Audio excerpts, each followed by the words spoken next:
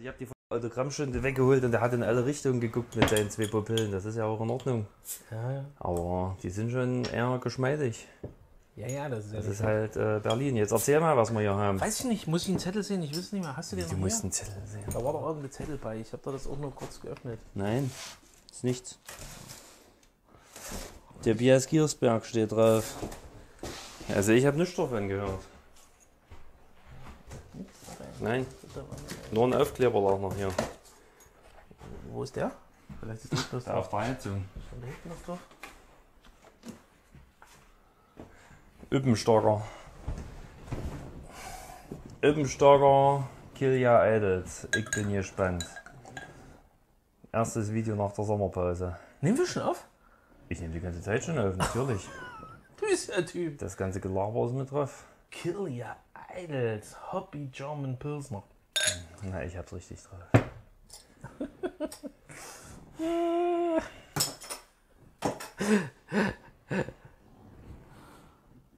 Wobei ich jetzt in einem Internetvideo gelernt habe, dass es gar nicht so gut ist, wenn du das Bier so schräg einschenkst, dass du wenig Schaumbildung hast. Weil. Oh, ich muss hier kurz rangehen. Ja, bitte? Okay. Ja, eigentlich wollten wir jetzt, äh, eigentlich wollten wir jetzt was anderes machen, aber äh, die, die terminlichen, familiären äh, Dringlichkeiten zwingen mich zum, zum Abbruch dieses Arbeitsaltares. Genau, wir machen jetzt ein, ein, ein, ein komplett aus der kalten, ähm, aus der sehr kalten, ähm, ne, ein Fazit, ein Recap, ein, ein, ähm, ein Ausblick, eine Danksagungsorgie schlechtermaßen, was dieses Jahr bei uns äh, quasi im, im Hinblick auf Partisan, nach Partisan auch nicht nur Partisan betreffen, sondern auch uns beide betreffen, so alles so passiert ist. Denn das ist ganz schön krass gewesen und so. Äh, wir trinken Kill Your Idols. Ähm, und äh, ich, Ist ja auch immer so ein bisschen eine Kondisseursendung hier. ja, ist es. Und äh, wir können schon mal ganz, ganz klar und festhalten hier, ähm, alkoholtechnisch wird es in den nächsten Monaten heiß hergehen. Da gibt es ja so einiges. Gab ja ansonsten immer nichts. Und das haben wir anscheinend so gut zum Ausdruck gebracht, dass wir in nichts Ordnung. haben und nichts bekommen und, und uns generell immer schlecht geht, dass wir Care-Packages Also hier drüben steht, was, was er sagen will, ist, da drüben steht ungefähr ein Kubikmeter oder für die Forstprofis unter euch, da drüben steht ein Raummeter an Getränken. Um das mal kurz, äh, um das mal kurz akustisch zu verdeutlichen. Naja, so ähnlich. ja, Äh, alles. Also vielen lieben Dank dafür. Was wir natürlich versäumt haben, ist da irgendwie Zettel drauf zu machen, von wem da was ist. Das werden wir dann versuchen irgendwie zuzuordnen, aber das scheitert schon heute daran. Oder wenn ihr Das, eure äh, Getränke wiedererkennt, meldet euch im Nachgang. äh, was in den nächsten. Ich würde eher sagen, dass es sich hier durchaus um einen Zeitraum von gut sechs Monaten handeln kann, äh, in dem wir das versuchen durchzutrinken, wie wir. Wir stellen uns den Aufgaben, die sich uns äh, hier darbieten. Ähm, wir fangen an mit, mit Kill Your Idols. Äh, Von, von Üppenstoker und äh, Tobias Name steht auf dem Paket drauf, aber er weiß nicht mehr, von wem es kam. Ich bin der Meinung, da war ein kleiner Zettel dabei. Ähm, das kam bei uns auch im Büro an, kurz vor dem Partisan. Und ehrlich gesagt, weiß ich nicht, nicht mehr, wo der Zettel ist oder ob da einer war und von wem das ist. Ähm, das lässt sich gut an. Das Eibenstock, Alter. Das ist doch eine, das ist doch eine Sandalenmarke. Also es hat ein mega geiles äh, Cover. Cover. Es hat ein mega geiles Cover, ist schon mal ansprechend, ansprechend ausgeartworkt. Äh, Der Opener ist auch cool. oh, Leute, Leute, Ja. Leute. Ähm, geht gut runter. Könnt, mir könnte es noch eine kleine Spur herber sein, ist aber in Ordnung. Ist ein Sommerbier, das kannst du auch mal während, während der Autofahrt nach Rostock trinken. Ähm, vielen lieben Dank dafür, unbekannterweise. Lecker. Ja. Sehr, sehr cool. Ähm, und ja, dann stehen wir hier. Also die erste Sendung ist schon völlig konzeptionslos. Das war eine der, der, der Rückmeldungen, die wir im, im Laufe der letzten Monate auch bekommen haben, dass das tatsächlicherweise ähm, sehr positiv aufgenommen wird von außen, dass wir äh, nicht wirken wie ein durchgescriptetes, durchgecastetes äh, Format, das ähm, ähm, ja, überausgearbeitet und technisch versiert das Ganze äh, darbietet. Das war vielleicht gar nicht immer so schlimm ähm, ähm, gewollt, aber es ist cool, dass ihr das auch ähm, positiv seht, denn Es ist gut, dass ihr unseren Alkoholismus supportet und die damit einhergehende Schludrigkeit in sämtlichen Belangen, die dieses Videomaterial hier betreffen. Von keine Ahnung, was Technik ist, über keine Ahnung, wie man so eine Sendung aufbaut, über einen fachmännischen Schnitt bis dann hin zur, zur Ausstrahlung und selbst da, aber die, das letzte Ding hier mit dem äh, Leo von Space Chaser, das hat schon aus Versehen die Premiere. Ich habe gedacht, warum läuft denn das nicht? Und dann gucke ich rein und habe es einen Tag zu spät eingestellt. Also es zieht hab- sich wie ein roter Faden versucht, durch diesen Kanal. Ja. Ja, naja, wir haben es dann ja noch hingekriegt. Draußen gewittert, auch schön. Ja, also wir werden auch weiterhin mit, mit, mit äh, technischen Diskrepanzen und, und ansonsten vielleicht auch dem einen oder anderen äh, Fremdschämen-Moment äh, da draußen, ja, Glänzen. das kriegen wir hin. Das wird drin bleiben. Und Naja, wer die, wer die Videonummer gesehen hat mit dem Herrn Gorminister und äh, mit äh, Kunsens Margot von, von Rock'n'Roll Rex, ähm, der wird ja nicht umhin gekommen sein zu bemerken, dass Tobias Stimme am Samstag des Partisanes etwas angeschlagen war und zwar angeschlagener als sonst. Ähm, was habe ich mir sagen lassen, gerüchteweise darauf zurückzuführen ist, dass er das ein oder andere Gespräch extra am Mörd führen musste. Mörd, Mörd. War das denn so? am, am, am Stein. Na, natürlich war das so. Ähm, ich weiß nicht, ob man da musste sagen muss. Ähm, aber, aber, Du kannst ja aber- nicht flüchten. Das ist Nein, ja nein, immer das grausame Schicksal des Mörders. Da muss ich alles anhören. Da kann ich weg. Genau. Da ist gebunden, die arme Und, und, und wo ist überhaupt? Erik war so bisschen, war so ein bisschen das, der, der Leitfaden. Aber ey, das, das ist total cool. So, ich war, ich bin nicht so der, der Typ, der. Also ich habe keine Angst vor Smalltalks und ich freue mich über, über, über alles. Aber ich war schon ein bisschen überrascht, dass das äh, Leute da draußen teilweise auch so cool aufnehmen und das offensichtlich auch so viel bedeutet. Und äh, das macht das Ganze natürlich umso cooler, vielleicht auch ein bisschen äh, ver verängstigt mich das, aber ey, das ist wie es ist. Lass uns mal so sagen, es, es kamen irgendwie mehrere Leute, die mir das Gefühl vermittelt haben, ihr müsst unbedingt weitermachen und, und hört nicht auf damit. Ich weiß gar nicht, wir haben doch gar nicht das, den, den, äh, den Gedanken irgendwie, also wir haben es nicht versucht irgendwie darzustellen, als ob wir weitermachen oder nicht. Wir sind sowieso Wir haben nie beabsichtigt, hier weiterzumachen. Wenn wir das abbrechen, dann machen wir das ohne Vorankündigung. Genau. Einfach so, zack, das Zack. war's. Dann trink mal ohne Kamera weiter. Aber Mhm. wir machen, wir machen weiter. Wir müssen, wir müssen intensiv nachdenken, was für coole Themen wir haben. Wir haben ein paar Ideen. Mm, Das Ding ist ja, äh, also ich, wie gesagt, Tobi, das arme Schwein könnt ihr ja dort immer abgreifen. Wenn, wenn ihr euer Seelenheil irgendwo loswerden wollt oder sucht, dann kriegt ihr das natürlich bei Tobias Giersberg Immer. am Katschelstand geboten. Ähm, bei mir wird's, und das tat mir dann schon ein bisschen leid, weil du das dann ja immer wieder gesagt hast, dass du immer wieder mit dieser Phrase da äh, konfrontiert wirst. Bei mir ist es ja nicht ganz so einfach, weil ich äh, bei dem Festival sehr viel hinter den Kulissen da rumschieße und versuche zusammen mit ein paar anderen Leuten am Ende alle so gerade zu biegen, dass du besucherseitig sagst, ey, war ein cooles Open Air, alle Bands waren in Time, irgendwie keiner musste den Slot tauschen, es war so wie es im Heft stande und klar, ich meine, hast du mal irgendwie einen scheiß Sound und da hast du Wind und da hat der Lichtmann anscheinend irgendwie ein Kümmerling zu viel gesoffen, äh, weil er ein bisschen neben der Spur war, aber ähm, grundsätzlich bin ich halt nicht irgendwie so krass stationär vor Ort.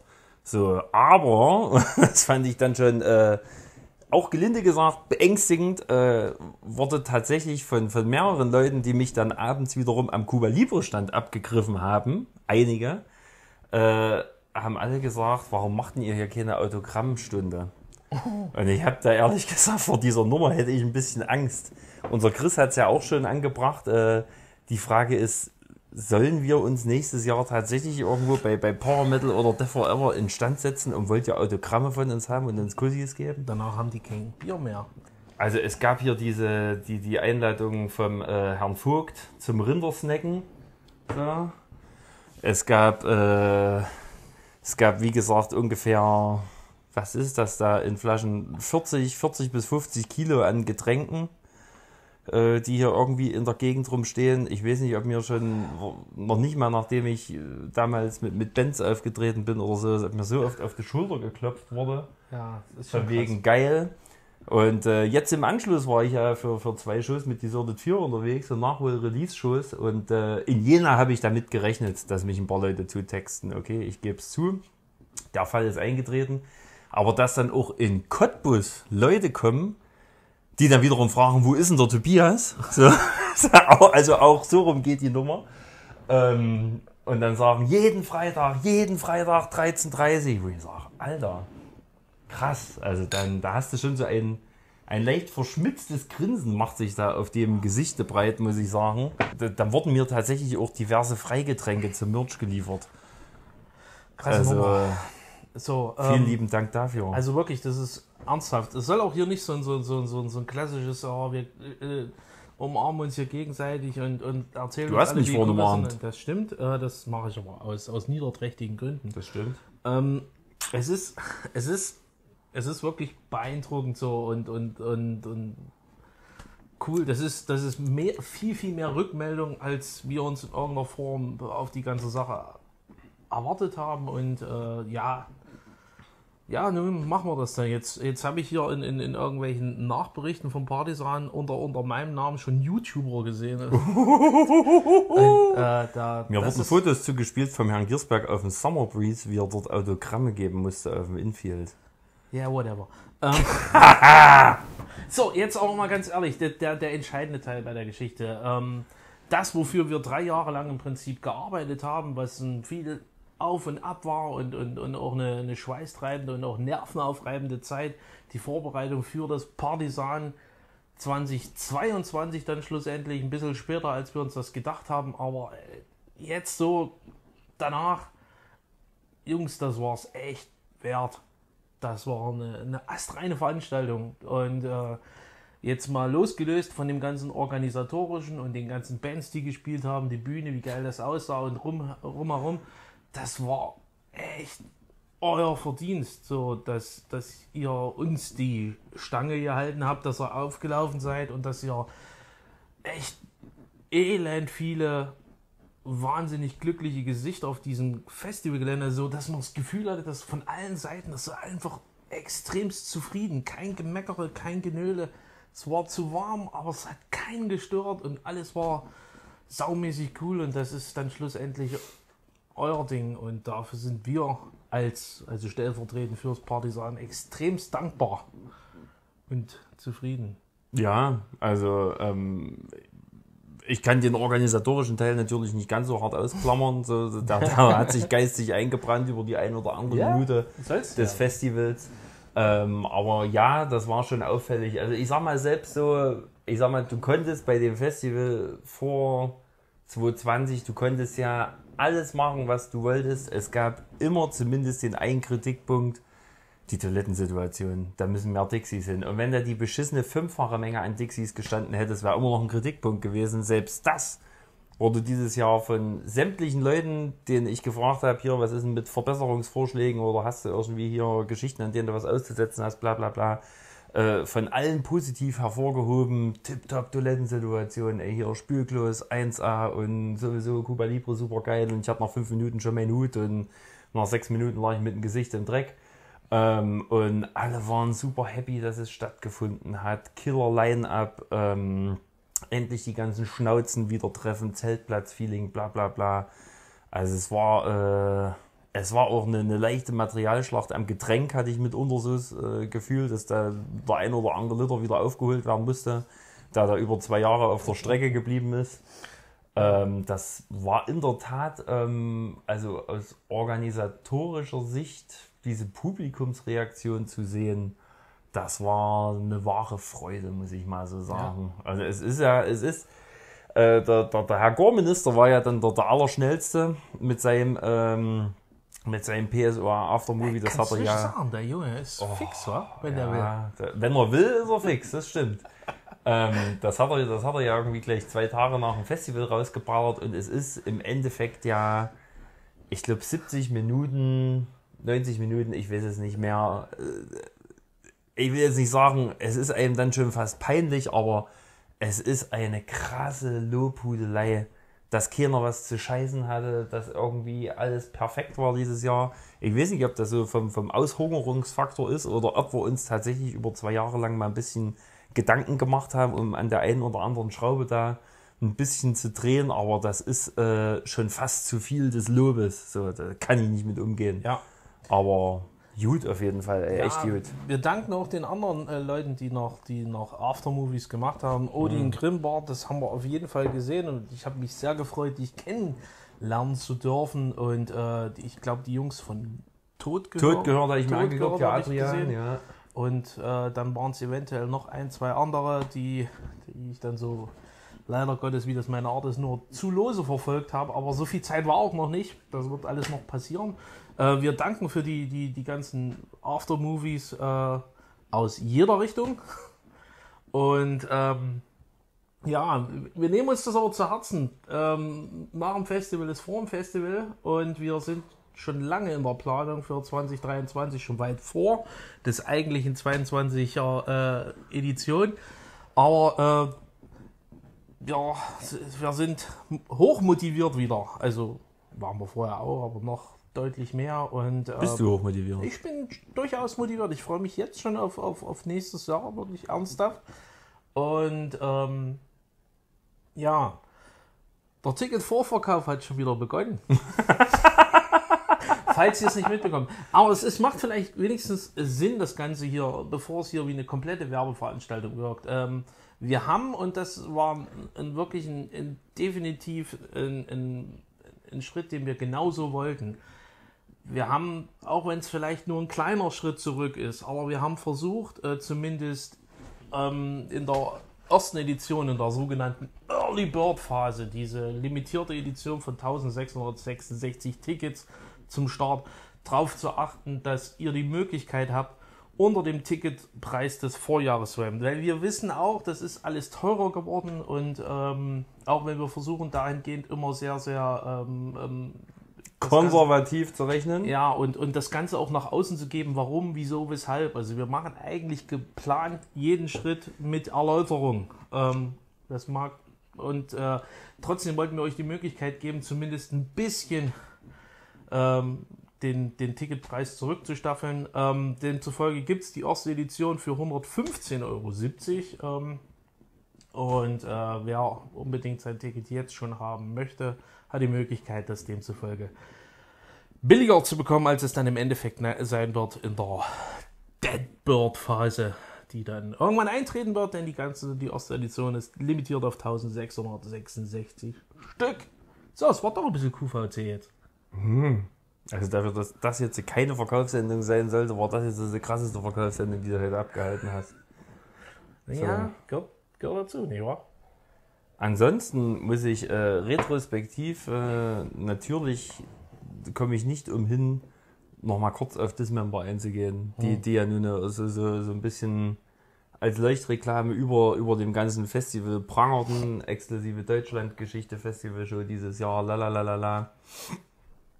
Als du sagtest, das ist ein absoluter Chaoshaufen und die machen sich nicht viele Gedanken um, um Sachen, die man im Jahr 2022 vielleicht auf dem Schirm haben sollte oder sowas, was irgendwie Bühnenpräsenz angeht, Tightness, Gesamtdarstellung, Vorbereitung auf die Nummer, Kommunikation, Abwicklung. Da hast du echt nicht zu viel versprochen. Alter Schwede, ey. Was für eine Truppe. So, also ich meine, am Ende war es cool. Ich muss halt auch sagen, äh, zum Zeitpunkt, als Dismember gespielt haben, habe ich mir äh, eine leichte THC-Vergiftung erlaubt, um das in vollen Zügen genießen zu können. Ich wünschte, sie wären noch halb so hart ausgefallen, denn das hat mich mitunter, hat mich das äh, nicht nur abgeholt, sondern auch überholt, was sie da gemacht haben. Es war die erste Show, die ich gesehen habe von dieser Truppe. Von daher kann ich jetzt nicht sagen, ob das eine gute oder eine schlechte Show war. Das war eine gute. Äh, ich wollte gerade sagen, ich habe es äh, 50-50 äh, natürlich gehört, wie immer. Ähm, aber um es mit den Worten von, von Janne Braun zu sagen, das war so eine Nummer. Ja. Ja, interessant. Ähm, Aber ich würde es mir nochmal geben. Ja, äh, bevor das hier ähm, Dismember war nie eine Mörder-Title Liveband. Und das zu glauben, dass sich das großartig... Ja, keine Kritik äußern. Nein, nein, nein, nein, es ist, es ist ähm, ich, ich würde mir wünschen, vielleicht für die Zukunft, wenn sie denn äh, das Ganze noch weiter, vielleicht nicht mit Override of the Overwatch voranzukommen, denn das ist halt genau so ein Ding, das muss soundtechnisch auch in der ersten Sekunde sitzen. Und es ist leider Gottes jetzt in den zwei, drei Mal, die ich sie gesehen habe, ähm, immer mit schrecklichen Timing- und Soundproblemen angefangen hat. Und meistens ruft sich das ab dem zweiten Song ein ist es natürlich bei dem, wo halt wirklich dieses Intro-Riff, äh, die ganze, äh, schon, schon viel über Magie und Nicht-Magie ähm, ähm, entscheiden kann, ähm, ist, ist ein bisschen haarig. Aber es war, ey, ich, war ein super geiler Gig mit, mit äh, glaube ich, einer Lichtanlage, die die Band so in der Form wahrscheinlich noch nie hatte. Und äh, von daher einer der, also ein absolut souveräner Headliner-Gig. Und ich muss dazu sagen, generell die Headliner-Fraktion dieses Jahr war meiner Meinung nach äh, bockstark. Karges war ein Killer. Ja. Karges war ein richtig Killer. Das hat mich überrascht. Ja. Und ich war vom Korps äh, Klampfensound absolut an die Wand gedrückt.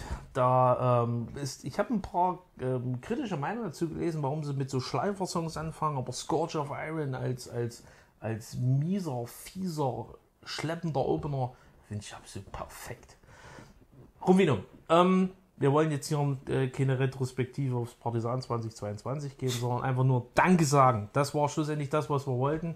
Ähm, für die Rückmeldung von eurer Seite, ähm, dass das Partisan so cool war, wie es war, liegt auch an euch. Ähm, und ähm, wir machen weiter, wie gesagt. Wir haben ja eh viel Alkohol zu trinken. Demzufolge werden wir das tun. Und äh, als äh, Lukas, gell? Lukas heißt der Steinmetz. Ja. Alter, das muss, das muss man, du, Alter, du bist ein Typ. Ja, Lukas ist hat's rausgerissen, du bist Alter. echt irre. Und das sage ich so positiv, wie ich das nur sagen kann. Ähm, wenn, wenn, wir, wenn wir geplant die Sendung äh, gemacht hätten, die Varianten, also ich bringe für die nächste Sendung mal diesen Stein, den du hier für uns oder für, für mich mitgebracht hast, mit dem ich dich ärgern soll, glaube ich. Ist ja Ähm, gelungen. Ähm, Wahnsinn. Also für, für euch da draußen, die den Lukas vielleicht noch nicht kennen, irgendwann werdet ihr ihn bestimmt mal kennenlernen. Äh, der, der Typ ist ein Steinmetz und hat in den letzten zwei Editionen des Partisans äh, seine Favoritenbands immer mit, mit besonderen äh, Steinfiguren ähm, ähm, quasi beschenkt und, und ihn äh, gehuldigt und, und, oh, und äh, was für also wir, wir uns ist es ja so, dass wir dazu fähig nicht sind. Uns fehlt es da an vielerlei Ecken. Aber zu sehen, was jemand aus einem Stein machen kann, ist Wahnsinn. Also ein Und- bisschen mit Zement rummatschen kann ich ja. ja, aber, das sieht scheiße Ja, aus, wenn es fertig ja. ist. Und das, was, was, was, was der gute Typ da macht, das ist absolut sensationell. Also äh, ganz ehrlich, wir wissen es. Ich finde bestimmt irgendwo, ich finde bestimmt irgendwo das Foto und kann hier im, im, im Nachgang mal ein paar, ein paar Bilder einblenden. Ist ja auch Werbung Ja. für dich, mein Sohn. Ähm, ist auch, glaube ich, noch relativ jung gewesen, aber ein Körper dran, dass dem die Mädels auf dem Infield nicht hinterher äh, ge, ge, geschwärmt sind. Es ist mir ein Rätsel, aber es war schon nicht schlecht, als er seinen Kofferraum aufgemacht hat und, und zaubert da, ich glaube, irgendwie fünf, sechs so eine, so eine Büsten mit unter zweiteilig und innen drinne beleuchtet und irgendwas und keine hat irgendwie unter 10 Kilo gewogen. Äh, daraus, da habe ich äh, in der Tat nicht schlecht geguckt. Also wirklich Krasser Typ, Alter. Wahnsinn. So, halten wir es kurz. Ähm, wir müssen uns auf eine, eine, eine kommende Saison mit, mit Freitags ähm, Genöle von unserer Seite vorbereiten. Äh, so wie wir das immer machen. Und äh, außerdem ist das Kill Your Idols Bier alle. Äh, von daher, War lecker. ja, war- Also am Anfang war es mir ein bisschen zu dünn, jetzt am Ende könnte ich sagen, da könnte ich noch so einen kleinen Kasten vielleicht war bei trinken. dir das dicke unten. Hm, das dicke Ende kommt zum Schluss. So, äh, vielen Dank. Und äh, jetzt ist genug mit Lobhudeleien. Bleibt anständig, esst euer Gemüse. meckern wir wieder. Chris Barnes hat bestimmt noch irgendwas in der Pfanne, auf der Pfanne. Peace out.